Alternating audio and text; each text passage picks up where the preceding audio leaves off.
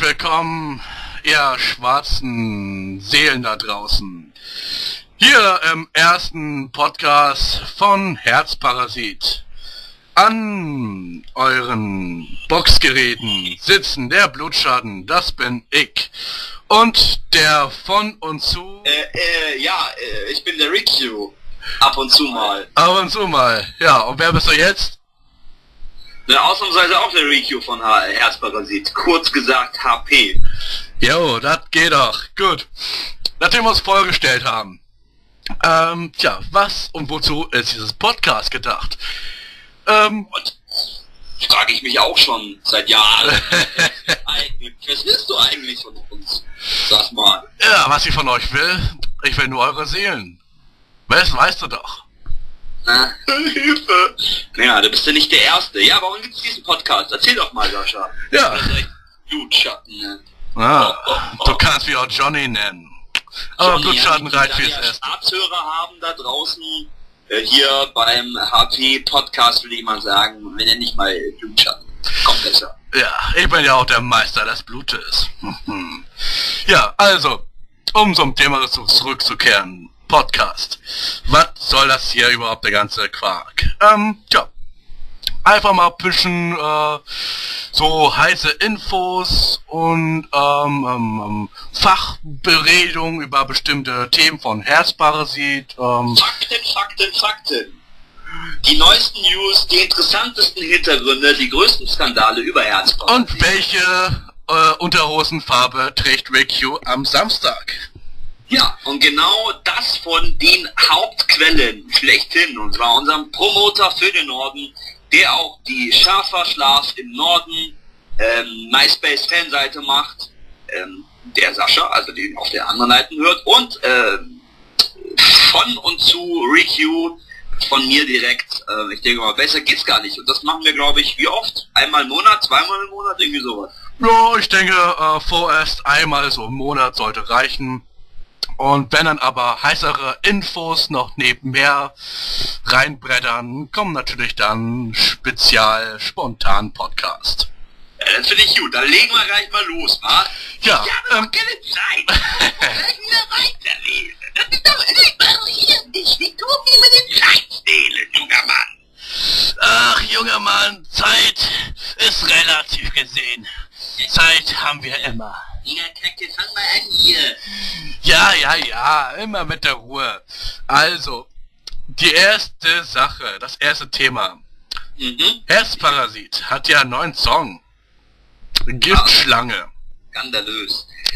Ja, lange gewartet, aber was lange währt, hält ja doppelt so gut. Ähm, Giftschlange ist endlich fertig. Das ist eigentlich so sozusagen der erste Song gewesen, den wir mit Karina Goldkind aufgenommen haben, also mit einer weiblichen Zusatzstimme sozusagen, weil ich komme ja nicht so hoch, ne? Naja. ja, und der ist jetzt endlich fertig. Das ist der erste Song, den wir mit echten Drums präsentieren, weil wir sind derzeit ein paar Wochen dabei, dass Mr. SM, unser Live-Drummer, alle Songs, auch alle alten Songs, komplett neu einspielt und L das komplett neu mischt, dass es ein bisschen mehr Druck hat, dass es fetter klingt, dass der, der Klang, der Sound, die Abstimmung einfach äh, besser ist als halt äh, die, die, ich sag mal, Sample Drums. Die haben dann genug jetzt gedient. Und Giftschlange ist auch der ähm, Song, der auf dem Blackheart Sampler Volume 3 vertreten sein wird. Blackheart äh, Promotion ist unsere neue Booking-Agentur, da kommen wir gleich dazu, das ist nämlich auch Neuigkeit. Hm. Also sagen, ist der Song auf dem Sampler drauf. Der Song ist ab jetzt auf herzparasit.de zum Download und ist quasi einer von mehreren neuen Songs von der kommenden LP. Äh, Frau Melemma, die sich jetzt immer mehr aufbaut, je mehr Songs halt rauskommen, äh, neue Songs rauskommen, sind halt für Frau Melemma gedacht. Und dann in ein paar Wochen gibt es dann auch die neuen Fotos äh, zum extra Fotoshooting für Frau Melemma. Also da kann man sich auf jeden Fall als HP-Fan oder nicht HP-Fan, wie auch immer, freuen und drauf gespannt sein. Ja, ähm, Giftschlange, wie schon gesagt eben, mit echten Drums. Und also, das brettert merklich richtig deftig in die Seele rein. Ähm, oh, schön. Ja. finde ich auch. Ähm, wie bist du auf den hammer genialen Text gekommen? Äh, bezüglich auch äh, auf, auf die Idee, ähm, einige Textzeile leicht im anderen umgeschriebenen Stil für Giftschlange äh, aus anderen Songs wie zum Beispiel Milch oder 1000 Grad äh, ja zu verwenden. Dazu muss man sagen, dass Giftschlange erstmal ein Resümee von, ich sag jetzt mal, ein und ein halben Jahr Herzparasit ist oder war. Der Song wurde damals so im, äh, also letzten Herbst geschrieben, komponiert und da gab es uns dann grob so ein ganzes Jahr, sagen wir mal, ein bisschen mehr, aber das war so ein bisschen das Herzparasit-Jubiläum. Die Idee zur Herzparasit gibt es ja schon länger, deswegen kann man das jetzt nicht so greifen, aber die Bandgründung war äh, so im Spätsommer, im Herbst 2008, also 2009, Spätsommer, Herbst, war mhm. quasi ein Jahr alt. Und mit dem Song blicken, wie, äh, blicke ich jetzt einfach, oder Elle und ich zurück, so ein Jahr Herzparasit damals, jetzt ist natürlich auch schon wieder länger, das ist schon eineinhalb Jahr noch länger. Ähm, deswegen einfach auch diese sechs Zeilen, die so ein bisschen ein paar Songs widerspiegeln, ein paar Songzitate umgewandelt. An sich ist es eine Adam und Eva Geschichte und äh, wir sind dann mal wieder äh, auf einem Pfad, wo viele so einen Kopf schütteln und sagen, boah Mensch geil. Ähm, ist halt wieder ein bisschen, ich sag jetzt mal, äh, wir treten da wahrscheinlich uns äh, jetzt ein bisschen in die Scheiße, weil es natürlich das kontroverse Thema wieder aufkommt, dass Männer und Frauen nicht zusammenpassen. Und da heißt ja, ja, jetzt machen Erdbasiert wieder einen extra auf, auf, ja, wir machen mal einen auf äh, Skandal oder Provokation. Ja, in erster Linie geht es uns darum nicht.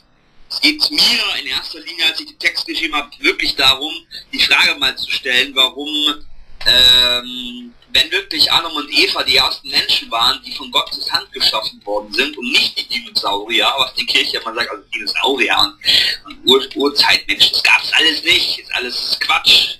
Auch wenn es irgendwie nachgewiesen ist, nein, Adam und Eva waren die ersten Menschen. Wenn es wirklich so sein soll, dann frage ich mich, wie die einfach, wie sind die entstanden? Also, hm.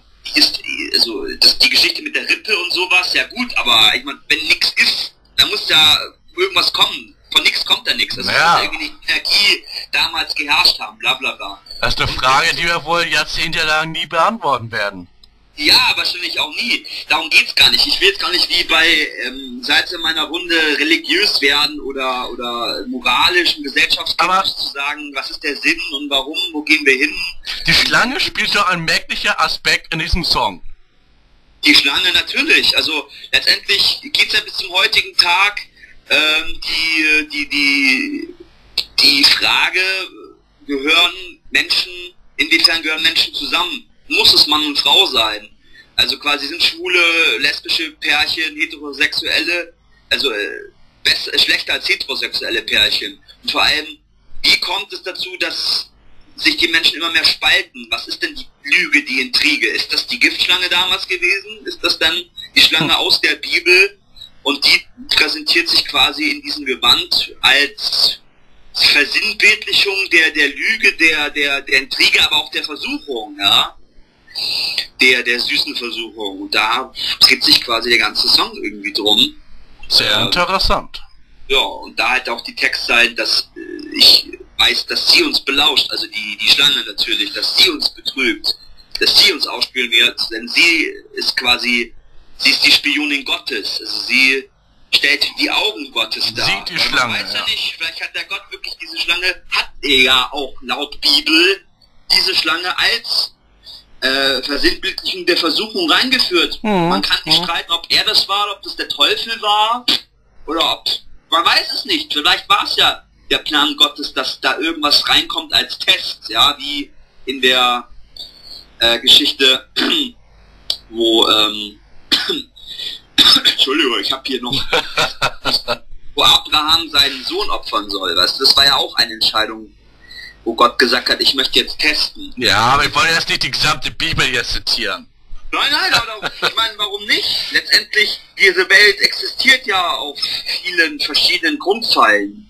Und die größte Säule ist ja leider nun mal die Bibel und die Kirche. Warum leider? Weil ich halt die größte Lüge überhaupt halte. Das ist eine Märchengeschichte, die meisten stützen sich die meisten Gläubigen nur drauf und sagen, so ist es und nicht anders. Ich finde es ist eine Lüge, aber braucht man gar nicht lange drüber reden. Das haben wir ja auch schon bei Salz immer eine Runde gehabt. Genau, wer noch weitere Infos über die Giftschlange haben möchte, da kann sie gerne die neuen Videos äh, Rick You erklärt die Songs sich reinhören. Da wird auch etwas über die Giftschlange erklärt. Genau, oder runterladen auf herzprojekt.de. So, nächstes Thema. Wir haben nicht mehr viel Zeit. Genau, äh, du hast eben oder vorhin das äh, Book Booking angesprochen. Genau. Mal so in ein paar Sätzen. Was ist das? Okay, was es ist, ist klar. Aber was hat es jetzt mit euch zu tun? Ja, wir haben jetzt, äh, ich sage mal in Anführungszeichen, in der kurzen Zeit es halt geschafft, ein ordentliches, kleines, aber feines und bekanntes Szene ähm, Booking Management zu bekommen. Die heißen Black Card Promotion, haben unter anderem Code Rush oder Unrein unter Vertrag und äh, ja, die werden uns jetzt im Laufe der, der Zeit, der nächsten Monate, aber erst ab Spätsommer ähm, Konzerte beschaffen, auch mal außerhalb Münchens und das ist einfach eine riesen Entlastung. Aber deswegen sind wir trotzdem noch frei und können weiterhin gucken, dass wir selber Sachen veranstalten. Das ist kein Ding, aber es ist eine geile Sache, weil das war der nächste, die nächste Stufe im Kapitel von Herzburger Sieg. Also ein richtig fetter Schritt nach vorne und das in so einer kurzen Zeit. Tja, Respekt, meine Freunde, Respekt. Ja, klar. So, was haben wir noch für ein Thema gehabt? Noch eins, glaube ich. Ach ja, heute ist der 1. April, liebe Freunde. Ich weiß, ihr hört das alle viel später. Der äh, Podcast wird hier jetzt am 1. April aus, äh, ausgestrahlt und der, ja. der Sascha, ja, der gute Blutschatten hier, versucht schon mich reinzulegen, du Arsch. Aber hat leider nicht geklappt, weil ich mit unserer anderen Promoterin, die Manu, mit der Manu nämlich davor geredet hat und sein, sein, seine, seine Reinlegaktion ging quasi darum, dass er sich trennt von uns und Manu, unsere andere Promoterin auch und was weiß ich was. Naja. naja. Und ähm, heute, am 1. April, spielt in München, wir sind ja eine Münchner Band, Unheilig, und da sind wir auf jeden Fall dabei.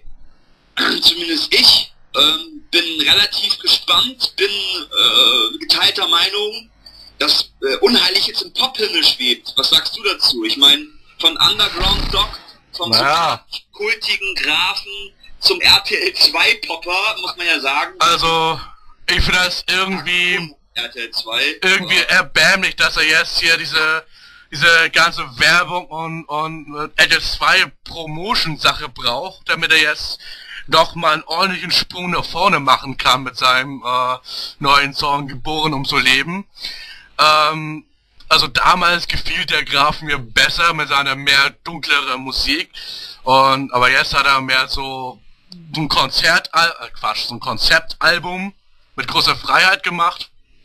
Und, ja, Konzeptalben waren es ja eigentlich bisher fast immer. Ja, aber die waren nicht so, die, die waren mehr dunkler angehaucht, aber, aber jetzt, weißt du, jetzt sind die so irgendwie, ja, ich brauche ja, neues. In jedem Text kommt irgendwas vor mit, ich ich fahre mit dem Schiff raus, ich setze ja, die Segel, ja. es ist immer das gleiche Ding, die gleiche Leier. Aber ich muss dazu was sagen, ich finde gar nicht schlimm, wenn eine Band, ich sage jetzt mal das böse Wort, kommerziell wird oder Mainstream, weil das heißt ja nur, dass die Band halt eine Masse gefällt.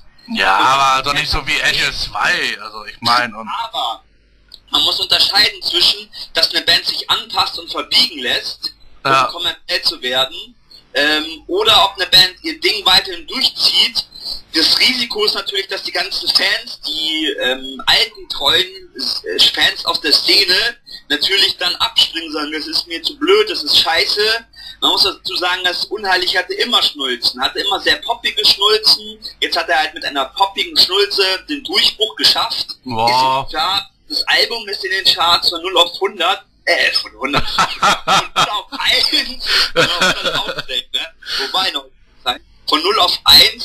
Der in, in, äh, in äh, äh, äh, hier, wir haben in Bayern ein ganz großes Radio, Antenne Bayern, da wird der hoch und runter gespielt, davor hast du nie nie was im kommerziellen Radio, vor allem in einem Radiosender, die Antenne Bayern, nie was von Unheilig und Co. gehört. Plötzlich wird der gespielt, das ist schon sehr strange, weil man denkt sich, die Sender und die ganzen Leute, die den jetzt hören, die ja. haben gar keinen Plan über die Szene und von der Musik und von ihm. Und werden dann sicherlich enttäuscht sein, wenn sie äh, ins Album mal richtig rein oder, auf, oder aufs Konzert gehen. Boah, das ist ja, das also, ist mir zu dunkel. Mir persönlich äh, geht das voll auf den Sack, weißt du, jahrelang, und das ist ja nicht sein erstes Album, mindestens 15. oder so, jahrelang hat er, jahrelang hat er Musik gemacht. Da wurde er halt nur in Webradios gespielt, äh, in, in Clubs, Diskotheken gespielt, weißt du, und jetzt nach Jahren, nach Jahren kommt er mit so, so, so einer Pop-Schnulze an und schon wird er in jedem Kommerzradio rauf und runter gespielt. Gut, es war schön, um noch ein bisschen, bisschen äh, Kohle und ein bisschen, bisschen äh, mehr Fans abzusagen, aber auf Dauer geht's auf den Sack, finde ich. Ich dazu sagen, das hat er sicher hart erarbeitet an sich, aber ja. So gedacht hat, dass er so erfolgreich wird im, im Mainstream, hätte er, glaube ich, selber auch nicht gedacht und auch, glaube ich, nicht geplant. Naja, wir wollen jetzt nicht mehr über unheilig reden. Das ist kein unheilig Podcast. Ja, äh, auch, es betrifft ja die Szene und auch irgendwie uns. Schon, ja. Wir angenommen, uns wird ein Angebot gemacht werden von einem Major-Label, ey komm, macht mal hier und da ein bisschen poppigere Melodien, macht mal hier nicht einen auf so böse und dunkel, dann machen wir ein paar äh, geile Interviews mit Bravo und so, dann bringen wir euch raus. Gottes Willen. Äh, ein Pop-Chart-Hit, was weiß ich. Dann, ich weiß nicht, also ich glaube, L und ich, ganz ehrlich, ja, ich glaube, wir wären nicht abgeneigt, weil wir würden uns selber anlügen, wenn wir sagen würden, wir würden das niemals machen, weil erstens, erstmal der Schritt dazu, dass uns mehr Leute kennen, wer das hört, ist ja... Ja, aber Popmusik und die Bravo, hallo? Lass mich, mal, lass mich kurz mal ausgehen. Ob das jetzt ein Trompetist hört, eine Hausfrau, ein Punker, ein Gute oder ein Schulkind, ist ja an sich wurscht. Musik ist Musik und wer, wer, wem die Musik gefällt, okay, bitte. Aber wir würden lügen, wenn wir sagen würden, wir wären nicht interessiert an einem großen Erfolg, wo wir vielleicht sogar mal unsere Brötchen wirklich nur davon verdienen können. Sage ich jetzt nun mal. Sei jetzt mal dahingestellt.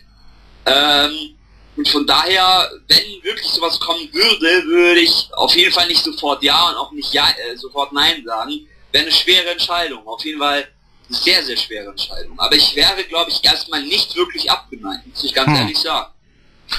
Und Naja. daher schimpfen auf andere Bands wie Umf, die halt auch auf dem Bundesvision Song Contest waren. Und seitdem hat sich viel geändert. Oder Subway to Sally, die haben ja alle immer gewonnen. Die haben ja was reißen können. Bundesvision Song Contest ist aber, glaube ich, noch cool. Und glaube ich noch nicht so, dass man sagen könnte, um Gottes Wille, was machen die denn jetzt? Aber Herzparasit wäre auch geil, ne? Für den Song Contest? Song Contest. Ja. Ja, also das kann ich mir am ehesten vorstellen, weil ich weiß, dass Stefan Raab eigentlich eine coole Sau ist und der den Musikern den Freiraum lässt. Äh, ich meine, wenn schon Leute gewinnen, weißt du, ne? Also, Ja, bitteschön. Ja. Er hat Szene-Bands echt nochmal gepusht, ohne zu sagen, ihr dürft jetzt da nicht schwarz angezogen und ihr müsst ja ganz anders sein. Das Genau. ist dem, glaube ich, wurscht. Also der will auch, bei dem Star von Oslo hat der auch keinem reingeredet von den Musikern. Aber das war's für den heutigen Podcast. So ist Hoffe, es. Und lasst euch auch weiter vergiften. Von daher, die letzten Worte liegen bei dir. Und Ja. ich sag schon äh, tschö und äh, ja, wie gesagt, herzparasitische Grüße von mir. Genau. Weitere Infos werdet wie immer im Podcast oder auf der neuen MySpace-Seite von mir, Scharfer Schlaf im Norden zu finden sein. Natürlich auch auf meiner YouTube-Seite, zu finden auf der MySpace-Seite, auf herzparasit.de, auf deren MySpace-Seite natürlich. Der neue Song Giftschlange wird auch da zum Download schon zu finden sein. Natürlich wie immer kostenlos und in fetter Qualität. Und ja, ähm, Frau Melemmer, da wird es demnächst mehr Fotos dazu geben. Freut euch darauf, freut euch auf dies Double Feature, wo halt zwei neue Musikvideos zu sehen sind. Welche Songs wird noch nicht verraten. Seid gespannt, lasst euch weiterhin vergiften. Und wenn ihr Fragen zu Rick oder Herzparasit habt, oder äh, Booking-Anfragen, oder vielleicht ein Remix von einem eurer eigenen Songs haben wollt, mailt uns einfach an blutschatten-hp.web.de und wir werden dann dies in der nächsten Podcast-Ausgabe reinnehmen und alles weitere per E-Mail klären.